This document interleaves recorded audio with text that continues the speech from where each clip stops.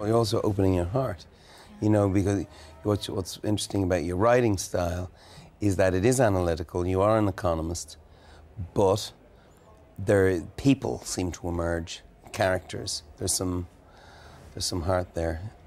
all those statistics are people, and your job as a writer is to make flesh and blood out of the numbers and uh, out of the, the pie charts and the, uh, uh, uh, and the data.